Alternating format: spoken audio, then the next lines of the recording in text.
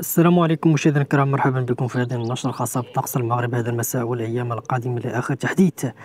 طقس مفاجئ خلال توقعات الأيام المقبلة. سنعطيكم آخر التفاصيل والمستجدات. فلا تنسوا دعمنا بلايك واشتراك في القناة. شكرا لكم. أما بالنسبة لهذا المساء فاستمرار موجة الحر إخواني الكرام والرياح القوية على الأقاليم جنوبي المملكة وكذلك جنوب الشرق المرتفعات وكذلك السواحل الأطلسية.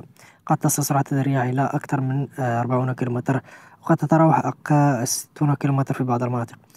بالنسبة لإخواني الكرام لاحتمال درجة الحرارة يتوقع أن تبقى مرتفعة. إخواني الكرام على الجنوب الشرقي والمناطق الداخلية الوسطى وكذلك على هيدا والفوسفات وأوسترد وكذلك شمال الأقاليم جنوب المملكة خصوصا مناطق السمارة والمناطق المجاورة. كذلك على ترودانت وزاكورة ومسقيد وخريب ومراكش ومرتفعات وكذلك الريف خصوصا على مناطق آه، سيدي سليمان وكذلك بسليمان وهذه المناطق وربما كذلك الجهة الشرقية ستكون طقس حار. إخواني الكرام آه، بالنسبة لتوقعات الأيام المقبلة فيتوقع استمرار موجة الحر إخواني الكرام سرعان إن شاء الله ما سوف تبتعد موجة الحر بداية من يوم الجمعة إن شاء الله.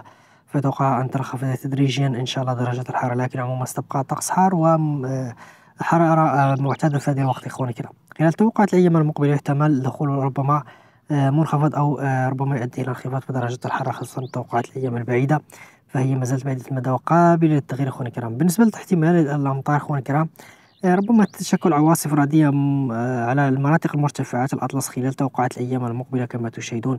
عواصف رعدية إخواني الكرام تتشكل خصوصا على مناطق المرتفعات الأطلس كما تشاهدون أخواني الكرام. على مناطق تباين وكيم دن أوزميز إيمن جانوت خنيفرة وإفران وميدل هذه المناطق ستعرف عواصف رعدية محتملة مع ارتفاع درجة الحرارة إخواني الكرام. كذلك عواصف رعدية يوم السبت القادم 20 من هذا الشهر مناطق تليوين وترودانت وتربانت وكذلك ميدلت وخنيفرة ومناطق فاس وتازا إن شاء الله.